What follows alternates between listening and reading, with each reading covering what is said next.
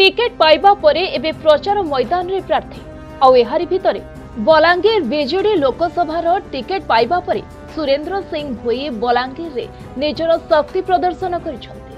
ସୋନପୁରରେ କାର୍ଯ୍ୟକ୍ରମ ସାରି ବଲାଙ୍ଗୀର ଫେରୁଥିବା ବେଳେ କୁଇନ୍ତଲା ବ୍ଲକ ଅଞ୍ଚଳରେ ତାଙ୍କୁ ଲୋଇସିଂହା ବିଧାୟକ ପ୍ରାର୍ଥୀ ନିହାରଞ୍ଜନ ବେହେରାଙ୍କ ସହ ବିଜେଡି କର୍ମକର୍ତ୍ତାମାନେ ସ୍ୱାଗତ ଜଣାଇଥିବା ଦେଖିବାକୁ ମିଳିଛି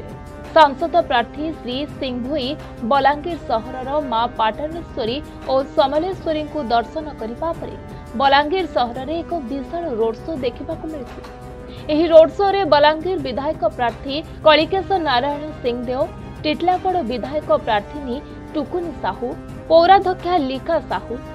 ଜିଲ୍ଲା ପରିଷଦ ଅଧ୍ୟକ୍ଷ ଦେବକୀ ସାହୁଙ୍କ ସହ ଶହ ଶହ ବିଜେଡି କର୍ମକର୍ତ୍ତା ସାମିଲ ହୋଇଥିଲେ ଏହି ଅବସରରେ ଶ୍ରୀ ସିଂ ଭୋଇ ବଲାଙ୍ଗୀରରେ ବିଜେଡି ପ୍ରାର୍ଥୀ ବିପୁଳ ଜନସମର୍ଥନ ପାଇ ବିଜୟୀ ହେବେ ବୋଲି ମତ ପ୍ରକାଶ କରିଛନ୍ତି ମୋତେ ବିଜୁ ଜନତା ଦଳର ଲୋକସଭା ସାଂସଦ ହିସାବରେ ଟିକେଟ୍ ଦିଆଗଲା ତ ସେଥିଲାଗି ମୁଁ ବହୁତ ବହୁତ ମୁଁ ଧନ୍ୟବାଦ ଜଣାଉଛେ ଏବଂ କାଲି ଯେତେବେଳେ ମୁଁ ଭୁବନେଶ୍ୱରରୁ ଆସିନେ ପହିଲା ମା' ସୁରେଶ୍ୱରୀଙ୍କୁ ପହିଲା ମୁଇଁ ଦର୍ଶନ କଲି ଏବଂ ସେନେ মাননীয় মন্ত্রী এবং বর্তমান প্রার্থী নিরঞ্জন পূজারে মতো বহু জোর সম্বর্ধনা করিকি পাঁচটি নিয়ে আসলে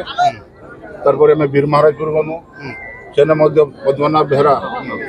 বর্তমান প্রার্থী এবং পূর্বতন মন্ত্রী সে মধ্যে মতে বহুত জোর সম্বর্ধনা জনালে এবং আজি আসলা পরে বইতলারে মধ্যে বহু জোরদার লসিয়া নেহার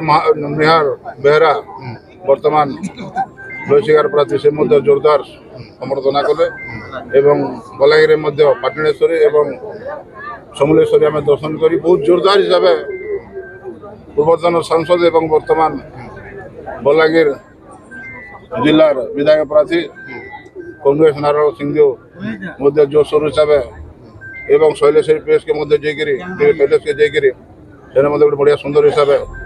मीटिंग आयोजन करा बलांगीर शरतचंद्र मिश्र रिपोर्ट प्रतिदिन